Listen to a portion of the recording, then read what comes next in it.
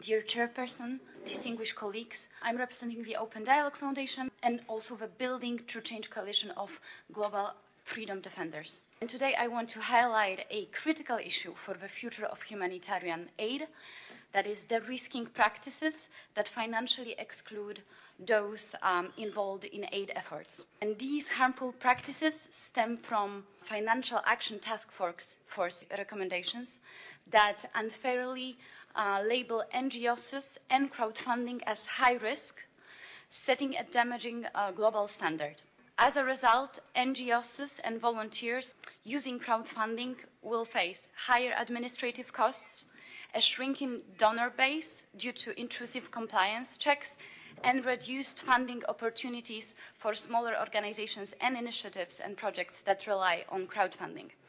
And this overreaching regulation devastate civil society fundraising efforts, and in crises like natural disasters or conflicts like Ukraine, crowdfunding is often the quickest way to mobilize resources. At the Open Dialogue Foundation, we have experienced firsthand how bank accounts can be shut down without transparency, even in Western democracies, and severely hindering our ability to provide aid. For instance, since Russia's full invasion in Ukraine, we, along with other NGOs, struggled to provide life-saving aid as our accounts on platforms like GoFundMe, Wise, and PayPal were uh, suspended, delaying vital supplies. Moreover, in authoritarian countries, traditional banking systems are weaponized against civil society, making it impossible to distribute humanitarian funds through conventional channels.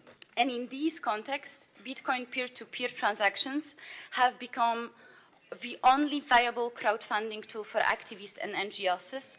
Yet this empowering technology is also negatively labeled as high risk without consideration of its humanitarian necessity. So in the light of this, we urge the OSCE Parliamentary Assembly Ad Hoc Committee on Countering Terrorism and its member states to reconsider FATF recommendations and assess their real-world uh, impact. And lastly, we stress the need to recognize Bitcoin humanitarian applications, particularly in oppressive contexts, and emphasize the importance of adopting neutral language surrounding Bitcoin peer-to-peer -peer transactions and freedom tech at large.